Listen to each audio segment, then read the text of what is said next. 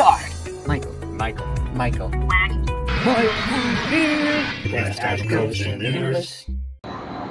On the search to learn more about AI, I came to uh, the birthplace of two uh, huge uh, digital native, two giants. If you know which ones, add comments down below to figure out what's next.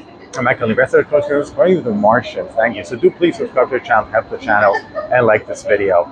So sitting here perched on top of a building that was built in the 60s with a monorail that was also uh, built in the 60s, one can wonder, and I'm a big skeptic on technology sometimes, uh, if AI is going to be the next 1960 monorail, all the huge amounts of money uh, that are being uh, thrown into it and huge data centers uh, that are in the physical world.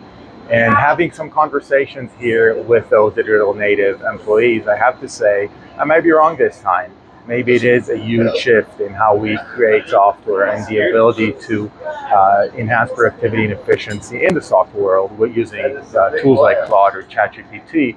Uh, jury's out. However, I'm less of a skeptic once I'm here and learning more of the amazing usages of those new tools that are enable, enabling creation of software 75, 85% much, much faster compared to uh, two, three years ago. Jury's out. Uh, the way you could uh, potentially measure that is put some metrics in place, suitable metrics into your tools to figure out are you seeing increased productivity as an operational excellence, as your digital uh, transformation code. So more on that next time. I'm making clear. Comments down below. Where am I sitting right now? Uh, that's it. For this Martians. Thank you for watching.